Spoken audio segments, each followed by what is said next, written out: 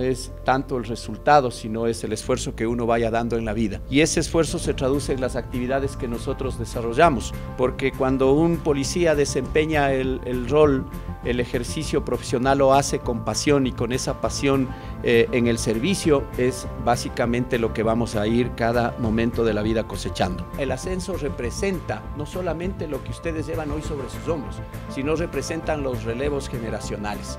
Y las nuevas generaciones son las que vienen con nuevas capacidades, con nuevos conocimientos, con nuevos aprendizajes, con tecnología y vienen a dar el desarrollo. Ustedes son ahora no solamente por la jerarquía, los nuevos suboficiales o los nuevos sargentos primeros. Ustedes son ahora también los custodios, custodios de esa integridad, custodios de esa transparencia, custodios de esa integridad que requiere y que demanda la ciudadanía.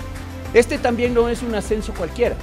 Este es un ascenso por las coyunturas que lo vamos a recordar toda la vida, porque no todo el tiempo vamos a permanecer en epidemia, en COVID, con mascarilla, pero hay que aprender también a, sobrellevar estos momentos y hay que ayudar con la responsabilidad social, manteniendo las recomendaciones sanitarias que nos han hecho para cuidar nuestra propia salud. Y cuidando nuestra propia salud, cuidar la de nuestra familia y también cuidar la de los compañeros.